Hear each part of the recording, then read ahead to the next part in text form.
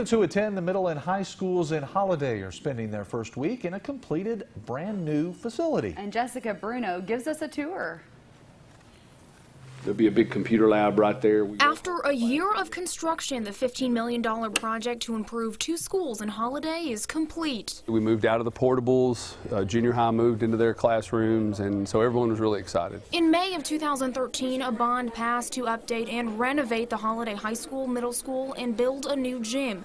That included technology upgrades, including new smart boards for the classrooms, a whole new middle school wing, and five brand new science labs. Previously, we only had two science labs, uh, and they were they've been built in the 70s, or you know maybe the late 70s, and so they really uh, weren't as functional as they could be. Now the school has five labs, three for the high school and two for the middle school, and another big upgrade is the new gymnasium. Our students, our coaches, uh, our community members who, who follow our, our student athletes, you know, they're excited to, to be in a new building, be in a new place, and, and open it up. Dye says the one thing he's most excited for is to see the teachers and students utilize all of the new amenities because that's what he says it's all about. Think about the, the opportunities it's going to create for our teachers in the classroom and our students, and everyone's going to get the benefit of that. Jessica Bruno, KFDX 3 News.